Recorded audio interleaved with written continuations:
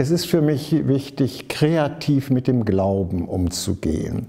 Und ich äh, behaupte mal fantasievoll, damit folge ich dem Schöpfer, der eine Kreation, die Creatio Mundi, die Erschaffung der Welt geschaffen hat. Insofern bin ich ganz fantasievoll gesagt Mitschöpfer, Mitarbeiter Gottes und steige ein in seine Schöpfungstätigkeit.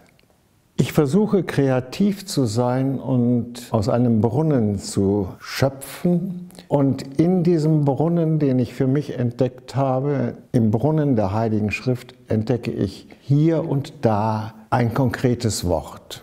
Das wechselt im Laufe der Jahre vielleicht ein wenig und diese Worte arbeiten in mir und geben mir Hoffnung.